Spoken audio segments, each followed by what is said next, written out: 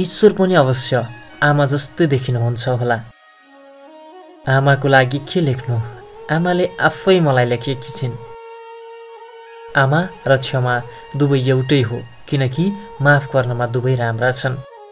कुनै यस्तो काम गर्नुहोस् कि तपाईँको आमा बुबाले आफ्नो प्रार्थनामा भनुन् कि हे प्रभु मलाई हरेक जन्ममा यस्तै सन्तान दिनु। मलाई मेरी आमाले एउटै कुरा सिकाएकी छिन्। छोरा कसैले हातबाट खोसेर लान सक्छ तर नसिबबाट होइन। हरेक मान्छेले आफूले चाहेको चिजलाई मन पराउँछन्। श्रीमतीलाई माया गर्दछ तर आमालाई पुज्दछ। आमा म पनि तिमी जस्तै राम्रो र सच्चा भन्नेछु म वादा गर्छु। आमा जब तिम्रो आशीर्वादले काम गर्छ तब बाटोको मुस्किलहरूले नै सलाम गर्छ। मान्छेको शरीरले केवल पैँतालिस डेल युनिटसम्म मात्र दर्शाउन सक्छ तर सन्तानलाई जन्म दिने समयमा एउटी आमालाई सन्ताउन्न डेल युनिटसम्मको दर्द हुन्छ।